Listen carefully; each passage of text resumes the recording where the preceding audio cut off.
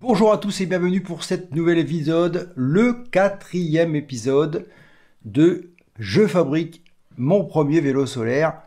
On va voir la suite de euh, ce boîtier avec la batterie 24 volts. On avait vu qu'il y avait deux modules euh, accrochés avec. Euh, donc le contrôleur Juntech pour avoir tout le contrôle sur la charge et la décharge et également le petit boîtier qui va permettre de faire fonctionner et les clignotants et les feux avec le petit baisseur de tension à l'intérieur. On va voir comment câbler tout ça. C'est le titre de la vidéo. Ma batterie de mon vélo solaire, suite deuxième épisode. Alors dans la continuité de la chose, on va reprendre euh, notre bloc batterie euh, communication et clignotant hein, que j'avais déjà, vous avez vu dans la précédente vidéo où on en était arrêté. On arrive maintenant à la phase où il va falloir du coup euh, bah, connecter tout ça, c'est-à-dire remettre tout ce qui se trouve dans cette boîte dans celle-ci euh, excepté que on aura une différence, c'est que du coup on a une arrivée batterie qui est du coup ici. Sur celui-ci, on avait une arrivée batterie qui était ici, donc par l'extérieur. Donc du coup, euh, ça va être plus simple. On aura juste à entrer euh, les fils de batterie au bon endroit, et on aura donc deux sorties. J'en ai fait plusieurs, mais je mettrai des obturateurs au final s'il reste des trous. J'ai préféré en faire plus que moins, comme ça au moins je serai sûr de ne pas en manquer. Et puis, euh, on pourra du coup euh, faire en sorte qu'on puisse connecter tout ça. Donc ça à faire. Puis ici, on aura... Euh, ici, on va avoir donc la partie clignotant. Donc là, on a donc notre abaisseur de tension. Ici, le relais clignotant. On mettra ici de chaque côté clignotant droite-gauche. Ici sur le dessous, j'ai prévu donc euh, une fiche avion 5 broches pour donc euh, connecter euh, le Komodo qui va être au guidon. Il permettra d'avoir bah, une masse, donc un négatif, clignotant droit, clignotant gauche, un feu et éventuellement, si je voudrais, rajouter un stop. Ici, vous remarquerez que j'ai laissé dépasser le petit bouton qui permet de accélérer et de diminuer le débit du clignotement. Mais ça, on en parlera dans aussi une prochaine vidéo. Pour l'instant, on va déjà se focaliser euh, sur euh, la reconnexion euh, du, du, coulomètre. Il y a déjà pas mal de boulot. il y a déjà pas mal de boulot à remettre tout ça à l'intérieur. Même si c'est la même boîte, hein, c'est exactement, exactement, exactement la même. Sauf qu'ici, on est en 4 mm d'épaisseur. J'ai fait une boîte très solide. Ici, on était donc en PLA, en PLA classique donc qui n'est pas très conçu pour à l'extérieur, une boîte qui était bon, solide, mais quand même assez flexible, en 2 mm seulement. Donc là, j'ai préféré jouer la prudence euh, pour avoir quelque chose de très très solide. Bon, du coup, la mission, c'est de démonter euh, tout ce que j'avais fait déjà. Bon, ça, ça va toujours vite à démonter. Mais euh, du coup, il faudra tout remettre à sa place. Et c'est ça qui est le plus ennuyeux. C'est vraiment la, pièce principale, c'est ce bloc, parce que c'est lui qui, dirige tout. Pour info, je rappelle que je suis toujours, moi, pour euh, mon vélo, sur une marque donc propriétaire. Hein. Pas la peine d'y revenir, puisque je vous en ai déjà suffisamment parlé. Tout le monde sait maintenant que le moteur Shimano, pour l'instant, personne n'a réussi à le débrider. Euh, enfin, surtout à, pouvoir pirater les batteries pour pouvoir rentrer directement euh, du 36 volts à l'intérieur et ne plus passer par un système qui, transforme du 24 volts en 220, euh, sachez que voilà, ça se fait et ça va marcher très bien. On peut très bien arriver à produire suffisamment plus que ce qu'on consomme dans la mesure, évidemment, dans la mesure où on reste en moteur euh, classique, c'est-à-dire un moteur de 250 watts d'origine. Donc la consommation maximale sur mon FAT avec euh, le système actuel fait que euh, on va dire que j'arrive à parcourir on va dire entre 35 et 40 km avec une batterie ce qui va me prendre euh, pour faire 35 à 40 km à la vitesse que je roule avec une vitesse moyenne de 20 km heure on va dire environ 3 heures et demie ce qui fait que ça correspond quasiment à faire le plein de la batterie donc la batterie du vélo qui n'est pas utilisée pendant que je roule bah, du coup elle recharge complètement et elle va remplacer celle qui a été usée et vice versa. Donc normalement, si bien sûr, il faut qu'il y ait du soleil, puisque sans soleil, malheureusement, le panneau solaire n'a plus du coup d'intérêt.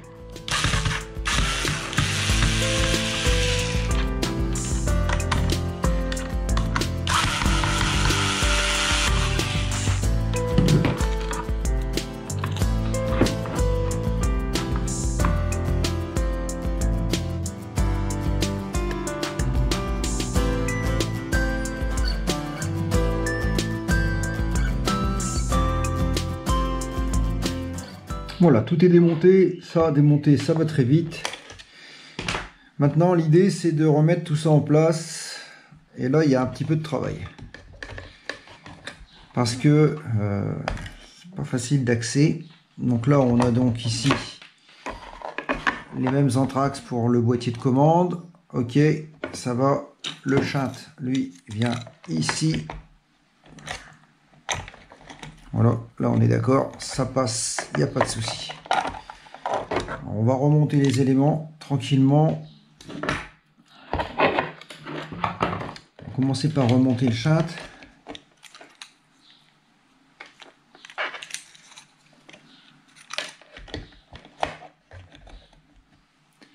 C'est vraiment très très très très très très très précis. Euh, L'imprimante 3D, c'est un gros avantage, c'est que ça travaille vraiment euh, avec une précision assez redoutable, puisque la pièce, euh, je ne l'ai pas refaite, hein, puisque c'est la même, que j'ai simplement donné, euh, j'ai mis un peu plus d'épaisseur, du coup, du coup ça va, ça va quand même relativement vite. Par contre, c'est pas facile.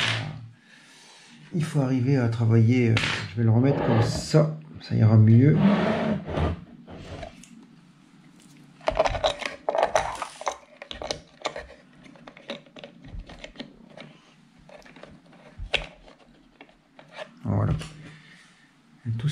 À visser ces toutes petites vis.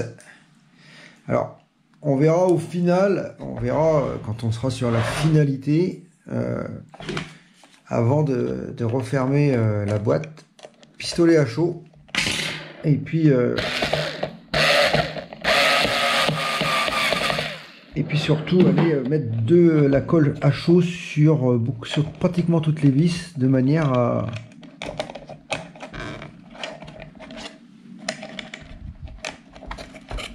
là je suis embêté parce que il faut bien mettre la vis en dessous. Parce que c'est le, boulon passe tout juste. Voilà. Il y était mais j'ai bougé forcément.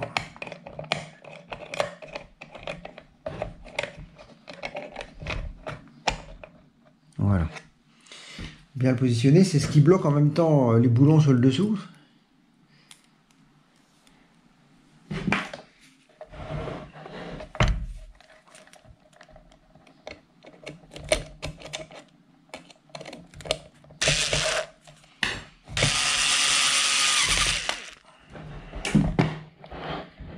Chat est connecté. Ça, c'est les fils de batterie. On va, les passer là, ça va nous, ça va nous, ça va nous permettre d'avoir de la place pour travailler. Ça, c'est la sonde thermique. J'étais obligé de la couper la, fiche parce qu'elle ne passait pas dans le trou. Pas grave, on un raccord. Voilà.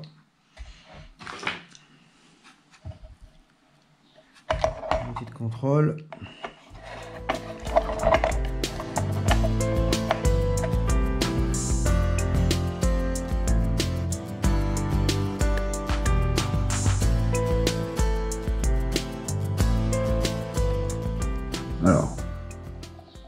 Chose à faire, on va connecter le capteur. Donc, le capteur sensor, c'est donc le chat. Voilà, il vient ici, hop, ça c'est connecté. Maintenant,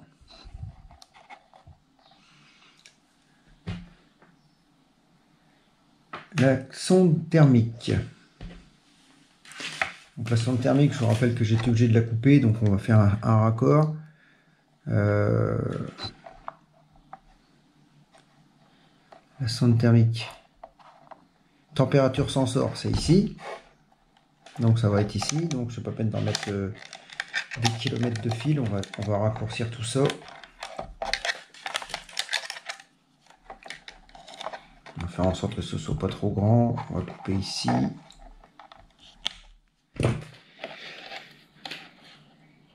Et celui-là, ici.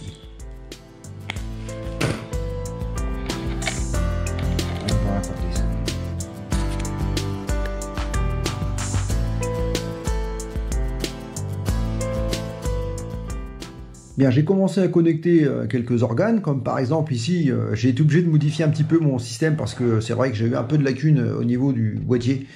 J'ai pas pensé, j'ai pas pensé du tout à où j'allais mettre le fusible, parce que sachant que le siège va être à ras des boîtes ici, donc je pourrais pas ouvrir les boîtes en roulant. Sinon enlever le siège c'est compliqué.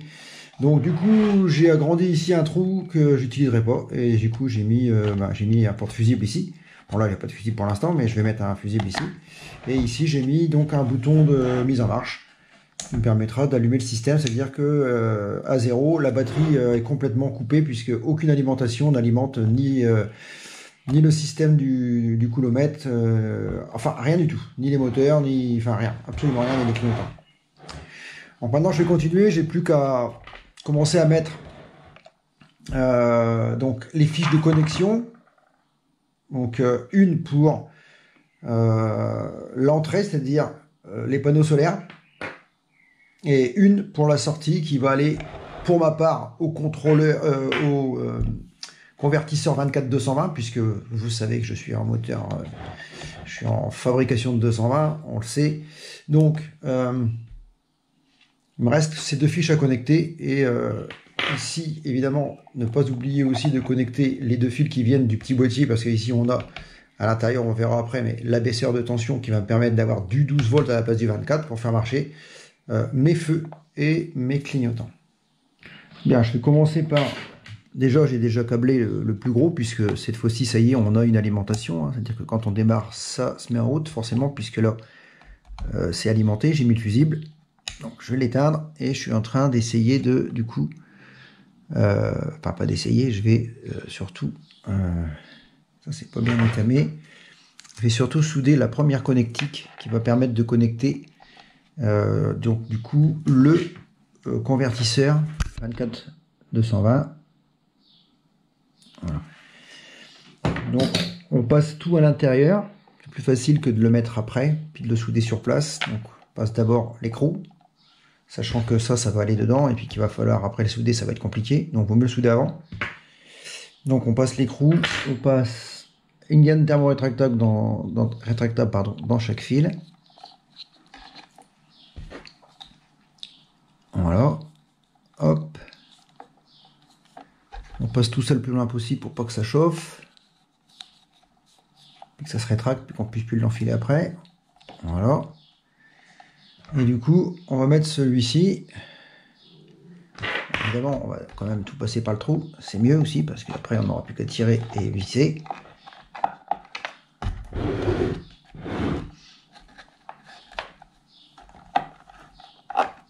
Voilà. On met pour coincer. Comme ça, ça permet de d'avoir les deux fils.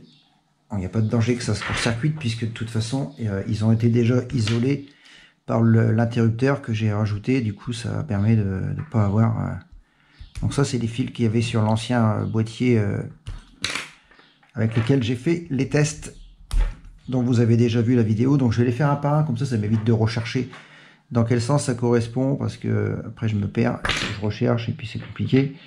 Parce que je sais que là déjà, ici, la fiche, le câble qui va alimenter euh, euh, donc euh, le convertisseur 24220, elle est déjà prête, c'est déjà celle-là, c'est une 3. Donc on sait que le rouge il vient là, du coup on va le mettre tout de suite. Comme ça on n'aura pas besoin de faire de repérage. Ah oui, c'est déjà pas très simple. Euh, c'est pas très simple déjà à souder avec les fils. Alors je vous explique pas euh, avec le, truc sorti. Alors si je vous dis pas si c'est dans la boîte, c'est même pas la peine. C'est juste euh, mission au Kavango. Alors ça va bien se souder, mais Alors c'est important que ce soit bien soudé parce que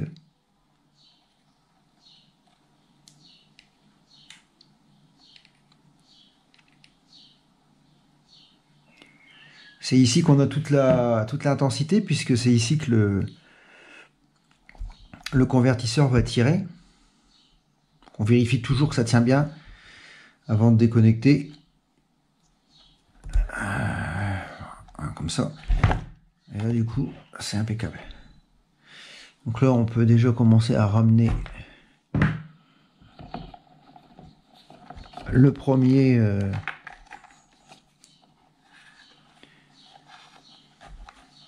la première gaine thermo rétractable. Comme ça, on se mélange pas. On va ouvrir celui-ci.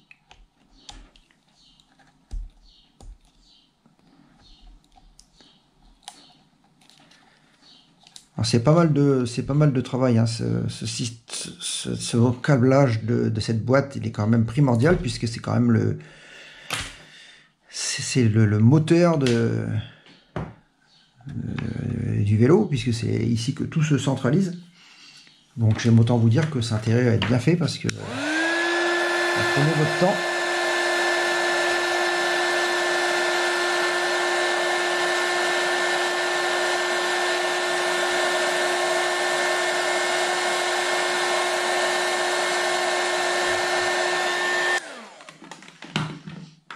Voilà, donc on voilà un, et maintenant il ne reste plus qu'à souder le noir.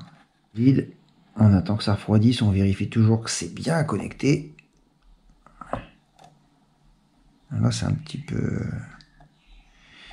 C'est un petit peu léger. on voit tout de suite que c'est pas, pas solide, donc il vaut mieux le refaire deux fois.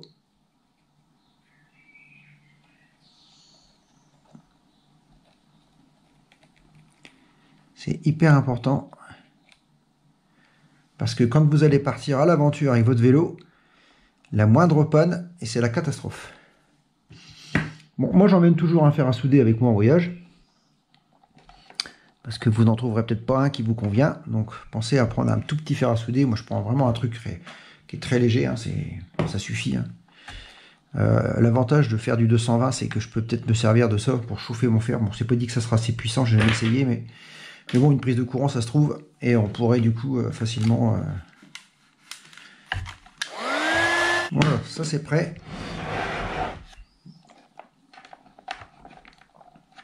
Et là, on n'a plus qu'à passer ça à l'intérieur. Et serrer la vis. Alors, à la fin, complètement, euh, complètement à la fin, je vais mettre de, je vais mettre de la, comme ici j'ai mis là, vous voyez ici on voit j'ai mis de la colle euh, à chaud. Ça permet justement d'éviter les, les, comment, éviter les vibrations et le desserrement par exemple intempestif de, des, vis parce que si ça se met à tourner à l'intérieur c'est pareil bon normalement euh, ça bouge pas mais avec toutes les vibrations qu'on prend sur la route ça peut euh, des fois avoir euh, des conséquences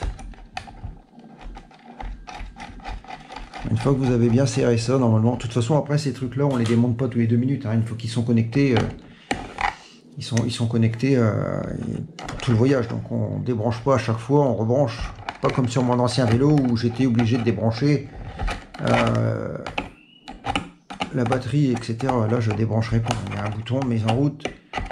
J'appuie sur le bouton, ça se met en route, point à la ligne.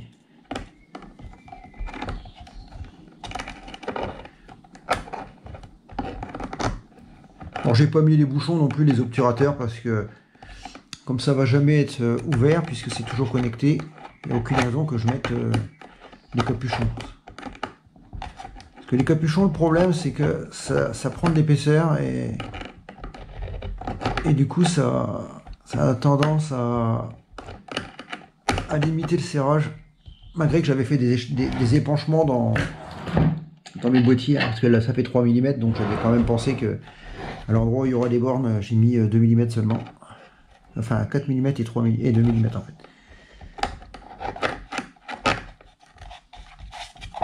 Donc là ce qu'on peut faire tout de suite c'est bah en faisant très attention quand même. On peut connecter ça puisque c'est ce qui va au convertisseur. Et on peut tester en appuyant sur le bouton ici qu'on a bien le plus et le moins du bon côté. Ça déjà, ça va déjà euh, vais ranger un petit peu mon bordel, mon bordel parce que c'est un peu le bordel là-dedans. Donc les capuchons ils sont au pire on pourra les mettre si on veut à la fin, mais bon ça sert à rien. Juste pour euh, le fun. Alors hop, hop, hop. Alors, est-ce qu'on a Est-ce qu'on a la bonne tension dans le bon sens? C'est ça l'idée. L'idée, c'est d'appuyer le bouton. Voilà. 24,9. Et on est dans la bonne polarité. Déjà d'entrée de jeu, ça veut dire que si par exemple, si par exemple ici on veut aller connecter euh, le convertisseur 24220 euh, qui est ici et qui est déjà monté sur un support pour pouvoir euh, être mis sur le vélo. Je vous montrerai dans une prochaine vidéo comment je l'ai installé. Donc là si on connecte ça ici.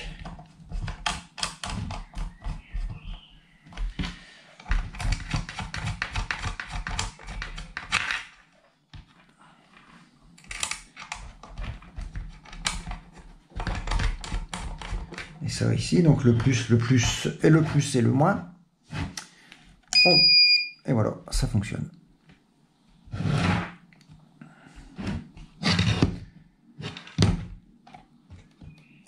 Je vais l'éteindre et je vais couper ici. Hop. On fera des tests euh, après de charge avec une batterie euh, Shimano vide, j'en ai une, et on mettra le chargeur 4,6 ampères et on laissera la boîte ouverte histoire de voir que si tout tient euh, correctement, si rien ne chauffe, il n'y a pas de raison. Si le fusible tient, j'ai mis un fusible de 15 ampères, sachant que j'ai une consommation d'environ 10 euh, ampères. Donc théoriquement, 15 ampères, ça devrait tenir. Je vais emmener avec moi quand même des fusibles un peu plus gros, comme des 20 ampères par exemple, histoire de parer à l'inattendu. Alors maintenant, il me reste plus qu'à côté euh, connecter côté euh, du coup euh, côté panneau solaire. Donc l'entrée, la source. Même principe.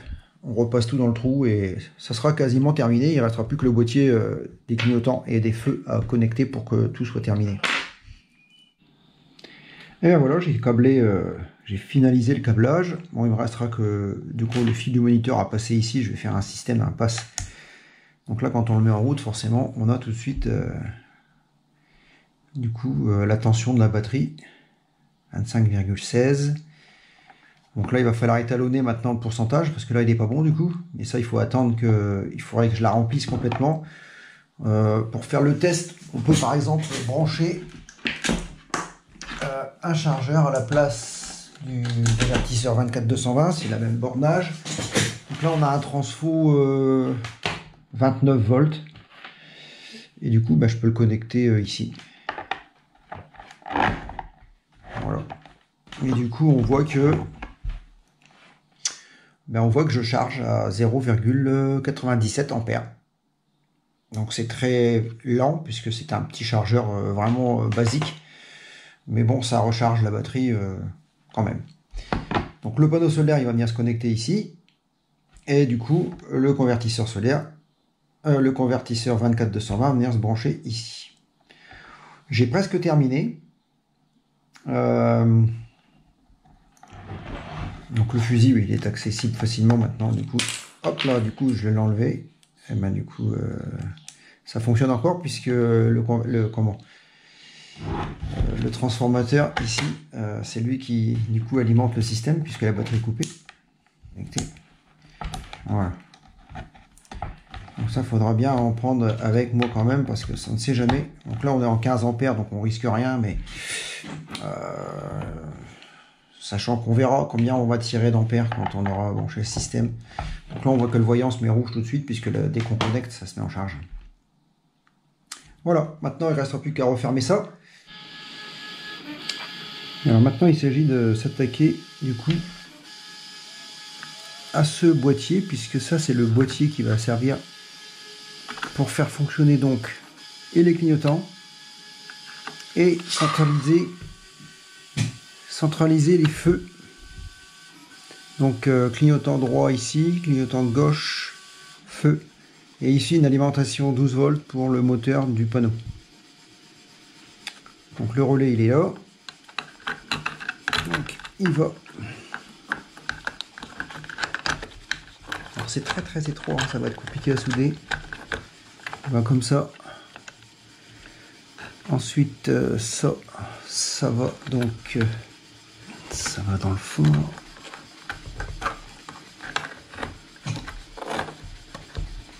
Voilà, arriver à visser tout ça. Les, petites euh, empreintes que j'ai fait sont au bon endroit. Ça va être compliqué d'aller y mettre les vis, mais il va falloir y mettre les quatre vis là-bas. 1, 2, 3 et 4 pour maintenir le circuit intégré. Donc ça, je vous le rappelle, c'est un, un de tension. La batterie derrière est en 24 volts. Nous, on veut du 12 volts pour les clignotants. Donc, on peut entrer ici de 0 euh, à 50 volts, 60 même, avec ce mode-là, 60 volts. Et on ressortira forcément ici euh, en 12. Voilà, donc on entre 0,50, 0,60 et on sort en 12. Voilà, ça c'est déjà une bonne idée. Maintenant, il va falloir arriver à mettre en place tout ça, souder, ajuster tous ces trous là parce que l'imprimante 3D ça a toujours un petit peu de vous voyez ça rentre pas bien il va falloir donner un tout petit coup d'ajusteur j'utilise un petit appareil comme celui-ci petite, euh, petite meule toute fine et je vais essayer de, de travailler un petit peu le trou alors pour celui-là ben, je suis un petit peu gêné ma boîte est un peu courte. Je pensais pas que c'était si long donc je vais être obligé de de dessiner une bague et de l'imprimer pour pouvoir euh, juste avoir de quoi serrer ici. Mais euh, que ça ne touche pas. Ça ne touche pas trop ici. Donc je vais faire une bague de quelques millimètres. Donc c'est pas très compliqué à imprimer il n'y en a pas pour longtemps ça vite à dessiner vite à imprimer on va voir à peu près combien il faut il faudrait une bague de ouais 4 mm quoi. 3 mm et demi ça serait bien. Allez, on va faire une vague à 3 mm et demi. Et puis comme ça on n'aura plus qu'à visser et souder tout ça. Donc si on reprend notre, notre plan, on est, euh, qu'on a déjà vu dans une autre vidéo, je mettrai le lien. On a la batterie. Donc les négatifs, on va tout de suite pouvoir aller les relier directement aux bornes des clignotants. Et à la borne moins, du relais. Le positif, lui, va directement au relais. Et le commun, celui du milieu, ressort directement au commodo. Et après, du commodo, on a un fil qui va au clignotant droit et un fil qui va au clignotant gauche. Alors pour le matérialiser ici dans la boîte, bon c'est pas c'est moins évident. Bon, la batterie forcément, euh, bah, la batterie du coup c'est la sortie du, de la baisseur de tension ici, on a le plus et le moins. Donc on va prendre d'abord le noir, puisque c'est le négatif, on va l'amener à chaque bande tout, de des, quatre, puisque c'est ce qu'on veut. Euh, on va emmener un positif à la borne ici, puisqu'on veut une tension constante pour pouvoir faire fonctionner avec un autre système, un autre bouton, mais ça, ça sera après pour faire fonctionner euh, la mobilité du moteur euh, qui va donc actionner le panneau solaire arrière. Et ici, un positif qui va aller se relier sur euh, le commun du relais clignotant. Et ensuite, des relais clignotants, un positif qui va venir ici, pardon, qui va venir ici et ici. Et on a oublié ici quand même de mettre aussi un positif ici pour les feux.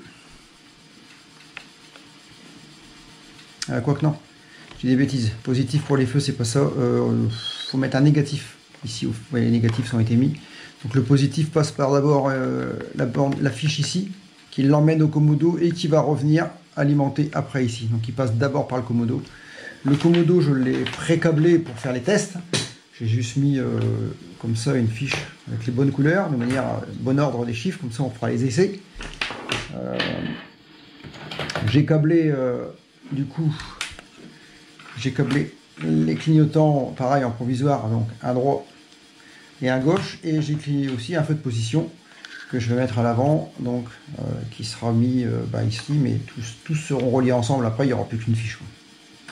Voilà, on fait bien attention à ce qu'on fait. C'est de plus en plus tendu puisque là, on est vraiment dans dans la minutie, il faut vraiment arriver à souder tout au bon endroit, sans oublier de mettre les bandes thermo-rétractables.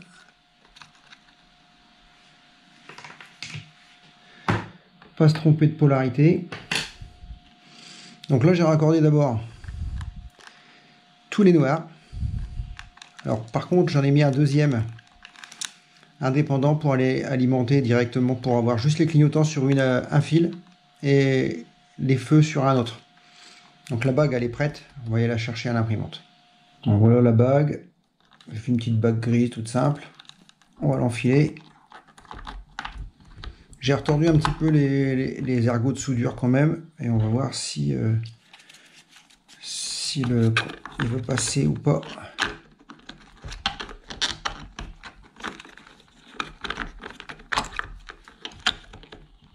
Voilà, impeccable.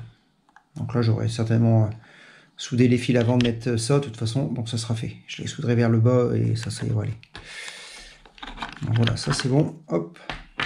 Alors, on arrive à la fin. Un peu compliqué, hein, parce que la boîte est petite et puis euh, il y a beaucoup de fils à souder. Alors, euh, sur le papier, ça va tout seul. Hein. Dans la réalité, c'est une autre histoire. Surtout pour souder ici euh, les petites euh, les petites broches sur les fiches avions c'est pas c'est pas évident. Dire que je suis pas vraiment équipé il me faudrait euh,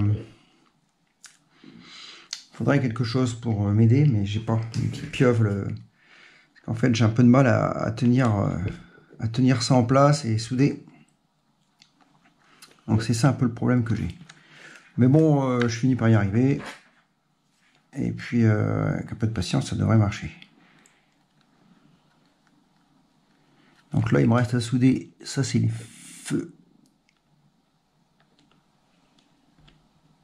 Si j'y arrive. Voilà. Donc ça, c'est l'alimentation pour les feux, donc l'arrivée du fil. Et il ne nous reste plus qu'à faire après le retour. Et, et normalement, tout ça, ça fonctionne. Surtout bien faire attention d'avoir passé l'écrou dans, tous les fils parce que si jamais j'en oublie un, je peux tout démonter. Voilà, donc ça c'est bon. Il n'en reste plus qu'un à passer et puis c'est terminé. Bien, et eh ben, j'ai réussi à tout câbler correctement. Euh, donc, euh, les deux fiches ici pour le clignotant, ici pour les feux, et ici une alimentation constante en 12 volts pour le euh, moteur, le futur moteur. Normalement, ça doit marcher. Donc le Komodo, il est ici. Le bouton de mise en marche, il est ici du système. Je mets en route. Le voyant vert s'allume ici, c'est que c'est bon signe. Et je vais mettre les clignotants pour voir. Voilà, donc j'ai doublé parce que comme ça j'en mets un de chaque côté. Double clignotant, droite-gauche. Et ici j'ai laissé le bouton lumière. Comme ça je vais pouvoir euh, mettre euh, feu à l'avant, feu à l'arrière deux, blancs à l'avant, deux rouges à l'arrière, mais c'est sur ceux-là qui seront rouges forcément. Donc je suis content, tout fonctionne du premier coup. Il manque juste les feux de détresse en fait. voilà, beau travail. Plus qu'à refermer la boîte.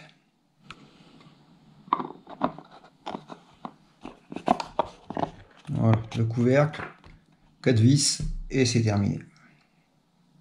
Et bien voilà, je pense que vous avez tout compris, vous avez vu que c'est quand même assez fastidieux, il y a quand même pas mal de travail pour câbler ces deux petits boîtiers, pas mal de fils, il faut être vigilant, euh, vraiment vigilant sur les soudures, c'est vraiment méga important. Euh, surtout euh, quand, on n'a pas l'accès au roulage, parce que là, la batterie où elle est placée, je n'aurai malheureusement pas l'accès, donc la moindre panne, c'est fatal. Donc il faut être vraiment très prudent au montage, bien vérifier tout avant de finaliser.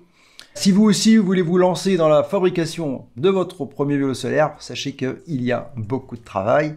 Je peux vous aider. Si vous avez des questions, vous n'hésitez pas à les poser. Je vous y répondrai en commentaire. Je vous remercie d'avoir suivi cette vidéo jusqu'à la fin. On se retrouve euh, très vite. N'oubliez pas de vous abonner pour ceux qui ne l'ont pas encore fait. C'est pas bien. Et euh, n'oubliez pas non plus d'activer les notifications pour être informé des nouvelles vidéos. On se retrouve très vite et comme d'habitude, Dopoba Chenia.